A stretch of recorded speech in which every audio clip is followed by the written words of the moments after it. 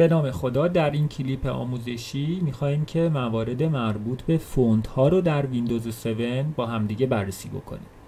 فونت ها اون به اصطلاح قلم هایی هستند که ما در تایپ حالا یا وردمون یا قسمت های دیگه ازش استفاده می‌کنیم نرم افزارهای دیگه مثل فتوشاپ ازش استفاده می‌کنیم و فونت های زیادی در مورد فارسی و انگلیسی وجود داره که شما بنا به کاری که می‌تونید انجام بدید می‌خواید انجام بدید ازشون استفاده می‌کنید. یه زمانی شما یک متن رسمی تایپ می‌کنید دنبال فونت های رسمی میگردید. یه زمانی شما یه کار فانتزی دارید انجام می‌دید توی فتوشاپ دنبال فونت های فانتزی میگردید و به همین ترتیب.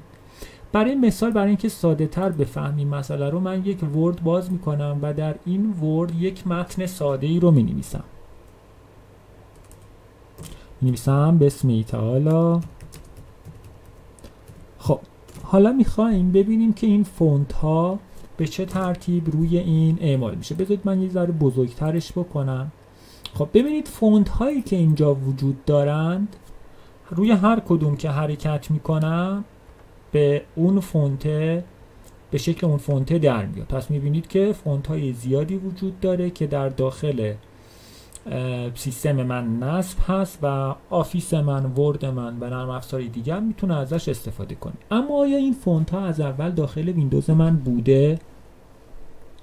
یک سری از فونت های انگلیس انگلیسی که به صورت پیشفرض در داخل ویندوز وجود داره بله داخل سیستم من وقتی که ویندوز نصب می‌کنم هست. اما فونت های فارسی که اینجا مشاهده می‌کنید هیچ کدومشون در ویندوز پیشفرض وجود نداره یعنی شما خودتون باید این فونت ها رو دانلود بکنید و اونها رو نصب بکنید. در این کلیپ هم قصد داریم روش نصب کردن این فونت ها رو به هم دیگه بررسی بکنید اگر شما این فونت ها رو دانلود کرده باشید یا توی یک فلشی سی دی چیزی داشته باشید به چه ترتیب از اونها می‌خواید استفاده کنید؟ اگر من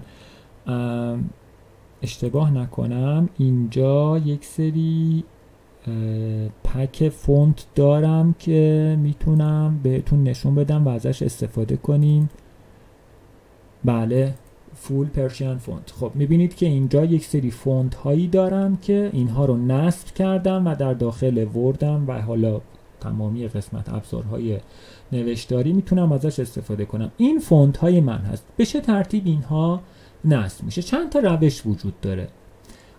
یک روشش اینه که اون فونت هایی که می‌خوایم نصب بکنیم رو روش کلیک راست بکنیم و گزینه install رو بزنیم.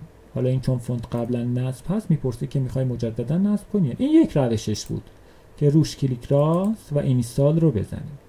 وقتی تعداد فونت ها زیاده می‌تونیم اونها رو انتخاب بکنیم و بیایم در داخل پارتیشنی که ویندوز وجود داره در داخل ویندوز پوشه ای به اسم فونت وجود داره.